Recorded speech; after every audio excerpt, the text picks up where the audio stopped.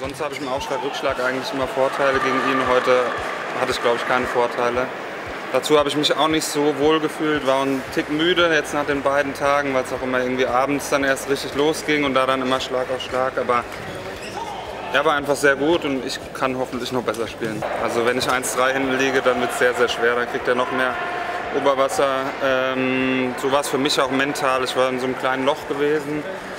Äh, warum auch immer, konnte mich einfach nicht so gut konzentrieren. Und ja, Rossi hat mir dann auch immer angezeigt, Brust raus, ein bisschen großer Typ, ähm, zeigt die Muskeln und das habe ich dann zum Glück wieder hinbekommen und das hat es dann heute auch ausgemacht. Also spielerisch geht es sicher noch besser, aber einfach die Körpersprache dann war dann wieder gut.